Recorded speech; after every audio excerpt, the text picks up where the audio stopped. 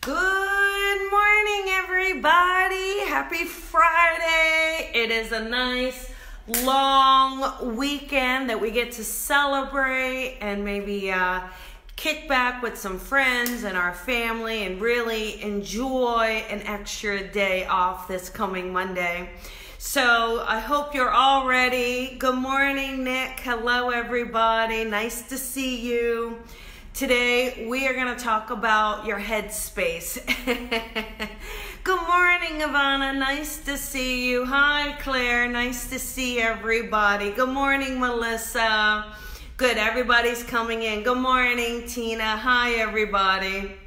So, we're going to talk about what is taking up your headspace. What are you giving that precious real estate to, right? Good morning, William. Hi, Eleanor.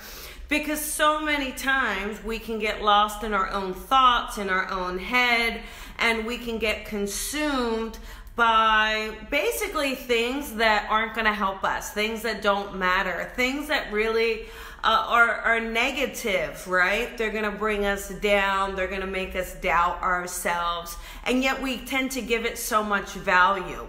We tend to give those negative thoughts more value than we do the positive thoughts. And why is that? Why do we do that? Is it safer? Is it more comfortable? It's about learning where are you directing your thoughts? Where are you saying, hey, this deserves more real estate than that negative thought, right? Good morning, Jamie. Hi. So it's a uh, hi, Susan. Good morning. So ask yourself, you know, really kind of keep a log. Keep a log of what are your daily thoughts, right? Good morning, Nicole. Hi, everybody. What are your thoughts? And as you, they come in, write them down because you may be surprised at what thoughts you are manifesting, what thoughts are popping in, and what is it you're telling yourself every day. You know, how are you speaking to yourself? Are you positive? Are you your own best cheerleader? We should always be our own best cheerleader, right? If we don't support ourselves, how can we expect other people to support us? So we have to kind of be there, right? You got to be there to have your own back. And then others will have your back as well, right? Good morning, Kelly. But a lot of times, you know, we just let the negative thoughts overtake us. We let this uh, headspace really mess with us and mess with our ambition, mess with our passion, mess with our beliefs. And we do it over and over and over. How many times do you spin a thought around, right?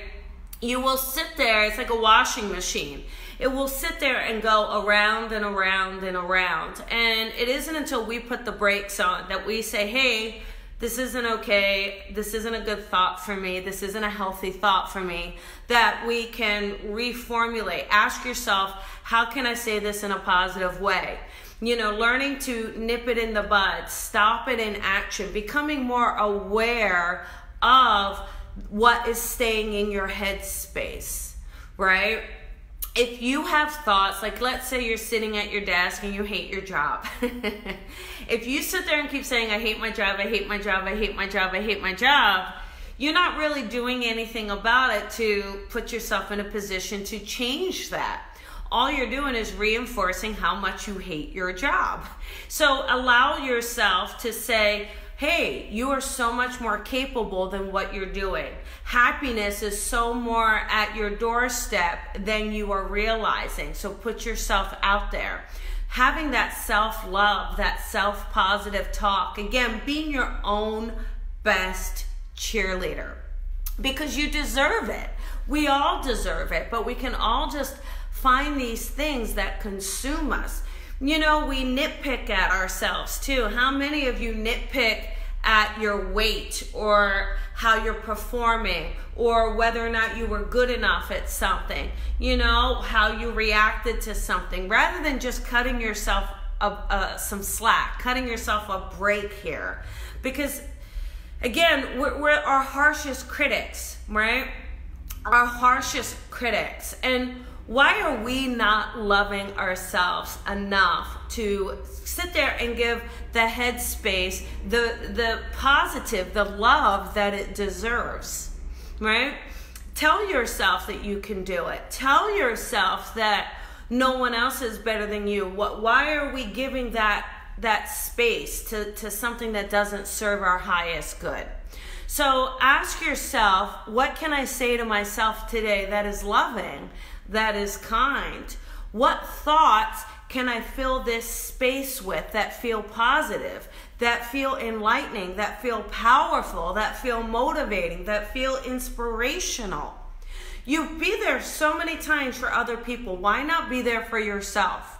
How many friends, family call you and wanting a pick me up? And you do it over and over and over, right? Hi, Lapido. You sit there and do that over and over and over for others, but are you doing it for yourself? Are you giving yourself your own pep talk? Because we all need to give ourselves a pep, pep talk, right?